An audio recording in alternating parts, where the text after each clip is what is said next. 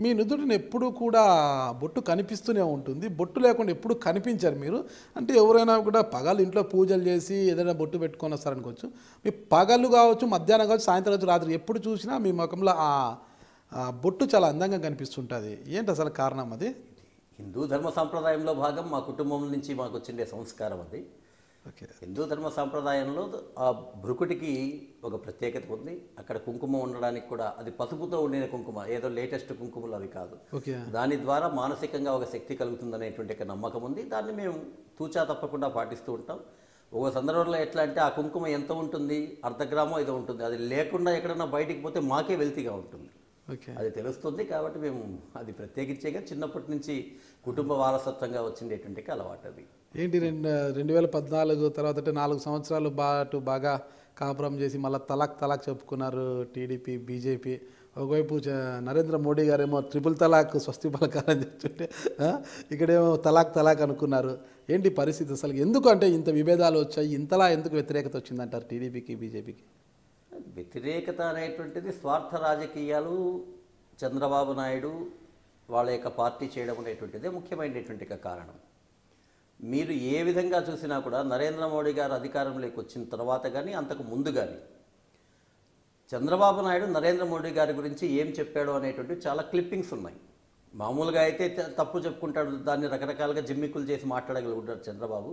ఆ క్లిప్పింగులు ఒక్కసారి ప్రజలు చూస్తే మా వాళ్ళు ఇక ప్రజలందరూ మిగతా మీడియా వాళ్ళు కూడా చెప్తున్నారు ఊసర వెళ్ళి కన్నా కూడా ఎక్కువగా రంగులు మార్చేటువంటి ఒక వ్యక్తిగా చంద్రబాబు నాయుడుకి ఆల్రెడీ పేరు వచ్చేసింది. రెండోది అతనికంతా ఇప్పుడు ఉన్నటువంటి దాంట్లో మొన్ననే స్టిక్కర్ ముఖ్యమంత్రి అనేటువంటి ఒక పేరు కూడా వచ్చేసింది. అంటే ప్రభుత్వ పథకాలను తీసుకొని వాటిని తన స్టిక్కర్ వేసుకొని ఇది నా పథకాలు అని చెప్పి చెప్పుకునేటువంటి ముఖ్యమంత్రి అనే పేరు వచ్చేసింది. ద్రోహము అనేటువంటి ఒక దానికి ఎన్టీ రామారావుని వెన్నుపోటు పొడిచిండేటువంటి విషయంలో కానీ దాని తర్వాత అనేక మంది తన అనుచరులకి ఎవడైతే పెరుగుతూ ఉంటాడో ఆ పెరిగేటువంటి వ్యక్తిని సప్రెస్ చేసేటువంటి విషయంలో కానీ ఆయన కంటే మించిన వాడు ఎవడూ లేడనేటువంటి తెలుగుదేశం మంత్రులు తెలుగుదేశం కార్యకర్తలు తెలుగుదేశం నాయకులే చెప్తూ ఉంటారు. ఇది జగమెరిగిండేటువంటి ఒక సత్యం. ఇంకా చెప్పాలంటే సహజంగా పల్లెల్లో చెప్పుకునేటువంటిది. ఒక చిన్న కథ ఎలా ఉంటుందంటే మామూలుగా ఎవడైనా ఒక ముగుడు పెళ్ళాం ఇద్దరు మాత్రమే ఒక పడవలో పోతూ ఉంటే ఆ పడవ ఏదన్నా మునిగిపోయే పరిస్థితి వచ్చి ఒకరు మాత్రం దూకేసేస్తే ఆ పడవ బతుకుతుంది అనుకుంటే మామూలుగా మనలాంటి వాళ్ళమంతా చేసేది మనం దూకేస్తాం. కష్టపడతాము బయటకు వస్తామని. చంద్రబాబు నాయుడు అయితే మాత్రం పెళ్ళాంని తోసేసి తను మాత్రమే ఆ పడవలో ఉంటాడు. చూద్దాంలే మళ్ళీ కావాల్సింటే చూద్దాం అనుకునేటువంటి మనస్తత్వం అయింది నేను కాదు రచ్చబండలో సరదాగానో చెప్పుకుంటుంటారు దాన్ని ఈవెన్ తెలుగుదేశం వాళ్ళు కూడా కన్ఫర్మ్ చేస్తారు. దానికి ఒకే ఒక ఉదాహరణ ఏంటంటే వాజ్పేయి గారితో అన్ని రకాలైనటువంటి వాజ్పేయి గారి దగ్గర కూడా ఆయన వచ్చిండేటువంటిదే. మేము ఏ రోజు అడగలే. ఆయన వచ్చాడు మేము స్వీకరించాము అతను వాజ్పేయి గారిని బలపరిచిందే నేను పిఎంను చేసిందే నేను అంటారు కదా? తన కాళ్ళకి తను నమస్కారం చేసుకుంటే ఏంది వస్తుందండి? వాజ్పేయి గారి యొక్క సంస్కారము ఆయన శక్తి ఎక్కడ ఏంది ఎక్కడ? నక్కకు నాగలోకానికి తేడా ఉండేటువంటి యొక్క పరిస్థితి నాగలోకానికి నక్కకు ఉండేటువంటి యొక్క తేడా నేను చంద్రబాబు ఏం నాయుడు చెప్తే అది వినేవారు వాజ్పేయి గారు ఆ రోజు అసలు నా మాటకి తిరిగే లేదని. నూటికి నూరు శాతం నీ మాటకే కాదు. వాజ్పేయి గారి హయాంలో డెవలప్మెంట్కు సంబంధించి ఎవరు ఎన్ని రకాలుగా అడిగినా జీరో బడ్జెట్లో నుంచి దేశాన్ని మొత్తం అంతా కూడా మిగులు బడ్జెట్గా చేయడమే కాకుండా ప్రతి ఒక్క చోట్ల ఆహార పనికి ఆహార పథకం కింద కానీ అందులో ఆంధ్రప్రదేశ్కి కూడా చాలా ఎక్కువగా ఇచ్చిండేటువంటి మహానుభావుడు. అటువంటి మహానుభావుణ్ణి ఓడించిండేది ఎవరండి? చంద్రబాబు నాయుడే కదా.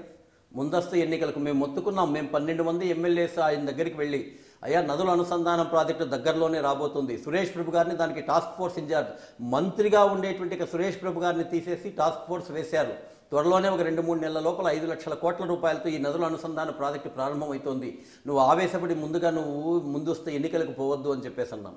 ఆయన ఎంతసేపు ఆయనకి ఎక్కడో తిరుపతిలో జరిగినటువంటిది ఆ యొక్క సింపతి కోసం తీసుకొని అనేక మంది కార్యకర్తల్ని డబ్బులు మందు బిర్యానీ ఇచ్చి ఆయన ముందరంతా కూడా చేసేవాళ్ళకి ఒక అహంకారం అనేటువంటిది వెళ్ళిపోయి ముందస్తు ఎన్నికలకు పోయాడు. ఆయన చేసిండేటువంటి అవినీతి కారణంగా జన్మభూమి కమిటీల్లో వాళ్ళు చేసిండే అవినీతి కారణంగా ఆయన ఓడిపోవడమే కాకుండా ఆ ఫలితం మాకు కూడా వచ్చింది. అంతకుముందు దాదాపుగా ముప్పై రెండు సీట్లు గెలిచాం మేము ఆంధ్రప్రదేశ్లో ఎంపీ సీట్లని. దాని తర్వాత కేవలం ఎనిమిది సీట్లకు దిగజారిపోయాం. యూపీఏ ప్రభుత్వానికి మాకు ఉండిండేటువంటి తేడా కేవలం ఏడు సీట్లే. అంటే గతంలో ముప్పై రెండు సీట్లు వచ్చినట్లుగా మంచి పరిపాలన చేసిండే వాజ్పేయి గారికి ఆంధ్ర ప్రజలు గన ముప్పై రెండు సీట్లు ఇచ్చిందంటే పది సంవత్సరాల పాటు సోనియా గాంధీ లేదు రాహుల్ గాంధీ లేదు మన్మోహన్ సింగ్ లేడు. కాంగ్రెసే ఈ దేశంలో ఉండేటువంటిది కాదు. ఈ రోజు అనేవారు. అవినీతి కూడా ఉండేటువంటిది కాదు. సో ఆంధ్ర ప్రజలు చంద్రబాబు నాయుడు మీద జన్మభూమి కమిటీల మీద ఉన్నటువంటి వ్యతిరేకత కారణంగా ఆ రోజు వాళ్ళు తెలుగుదేశాన్ని ఓడించినా పర్వాలే. వాజ్పేయి గారిని ఓడించిండే కారణంగా ఈ దేశం పది సంవత్సరాల పాటు అనేక రకాలైన అవినీతి కుంభకోణాల్లో కూరిపోయింది దీని నష్టం ప్రజలు భరించారు. ఆయనకేం రాలే చంద్రబాబు నాయుడుకి ఏం రాలే ఎందుకంటే తన కాంట్రాక్టు తనవి తన యొక్క heritage factory for more videos subscribe to iDream and loads of fun entertainment and content do watch iDreams do subscribe iDream media దయచేసి ఐ డ్రీమ్స్ మీరు సబ్స్క్రైబ్ చేయాల్సిందిగా నేను కోరుతున్నాను. I'm doctor Nayak DT Nayak for more videos please subscribe to iDream. Please subscribe iDream News. Please subscribe iDream. Please subscribe iDreams. మీరు చూస్తున్నారు iDream News.